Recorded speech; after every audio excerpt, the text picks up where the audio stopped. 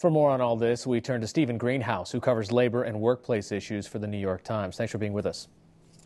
Nice to be here. So, Steven, bring us up to speed. After that fire, there were some documents that an activist group had put out which seemed to indicate some retailers who were unwilling to pay for some of the safety upgrades.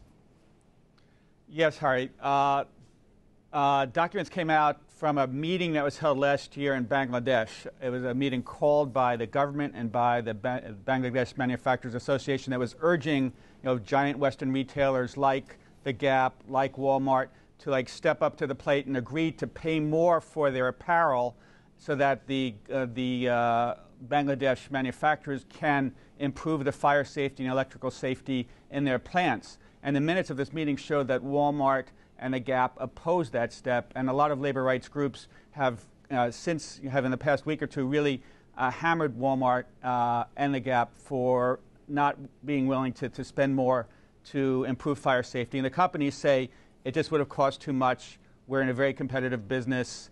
Uh, our customers like uh, low cost products, and, it, and we're just not going to spend the money.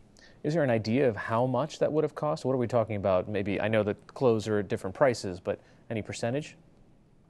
Uh, the percentages I've seen, uh, Hari, just like a half or one percent of the uh, total cost of the apparel ex- exported from Bangladesh each year. About $19 billion worth of, uh, of apparel is exported each year from Bangladesh. It's the world's second largest apparel exporter after, after China, and it's growing very fast, largely because it has uh, the lowest minimum wage of any, any country that's really uh, exporting apparel to any sizable degree. $37 a month is the, uh, is the minimum wage there. So you also pointed to over the weekend uh, a more devastating fire in Pakistan. It's kind of started to lead to this maze of contractors and subcontractors, and that seems to be standard operating business, where an American company could be well intentioned, but ultimately they don't know who's actually producing what's on the ground. Yes, I, have written several articles on these fires with my colleagues Declan Walsh in, in, Pakistan and Jim Yardley in Bangladesh, and we found that time after time, the retailers, the subcontractors, they're all asserting, we didn't know about it. We didn't know that the subcontractors of the subcontractors were using these plants, and they say, you can't blame us. And, and I, I think many people call that you know, plausible deniability. A lot of labor rights groups are saying, retailers, subcontractors, you have to really step up to the plate. You have to uh, make sure that these factories are safe. You can't blame it on subcontractors and say, I didn't know.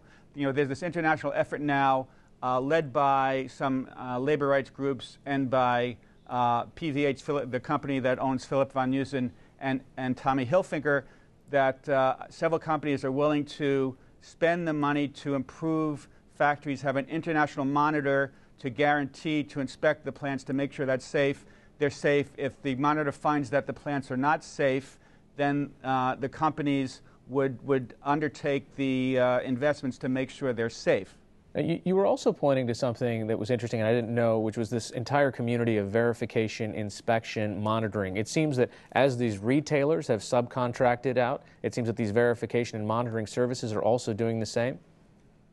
Yes you know, this system, is, Hari, is broken in many, many ways. You know, the, the governments of, of Bangladesh and Pakistan are not really doing what needs to be done to inspect the plants to ensure for safety. So this kind of voluntary, uh, industry-backed uh, set of monitoring has, has, uh, has become quite popular.